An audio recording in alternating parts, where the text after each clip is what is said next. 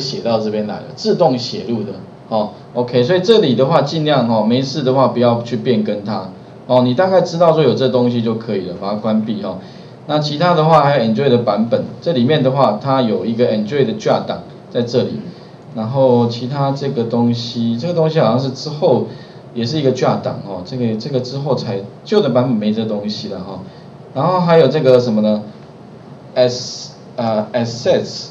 这里面的话，比如说你有一些文字档，哦，或者是说一些什么外部的一些档案的话，你可以像那个 SQLite 的资料库，哦，你也可以怎么样呢？把它暂时放在这里，或者一些什么呢？一些图档，好像我看一下，这里面还有一些相关的哈，journal 这个是，啊这，比如说呢，HTML 文件、文字档或者是 SQLite 档案都可以暂时放在这里。然后你可以做存取，比如说，不见得一定要变成资料库啦。比如说你有很多文字档，然后你希望啊今天按了这个按钮之后开这个文件的话，你也可以把文件一些文字档案都放在 Access 里面。当你按下这个 button 的时候，就把那些哪哪哪一个文字档把它读进来。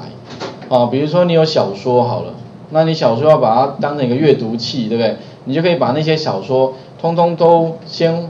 汇入到 Access 里面，然后呢，你就做一个什么呢？一个结构，然后人家阅读哪一个，你就按下哪一个，它就那一篇文章就出来了。然后你再增加放大、缩小功能，哎，就是一个电子书了。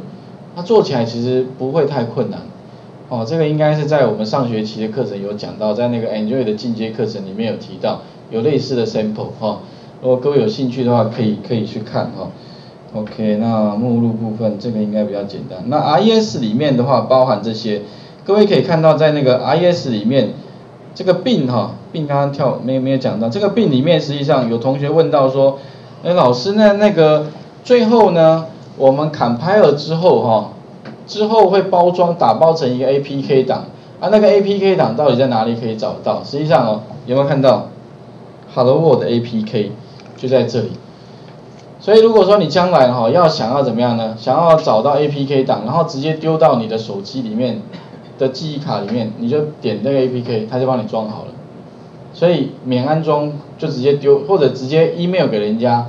像我之前也有试过啊，就是 email 到我的信箱里面去，再从我手机里面开启 Gmail，Gmail 里面有附加档 APK，也可以透过 Gmail 来安装，好，也是直接可以。你要丢给人家。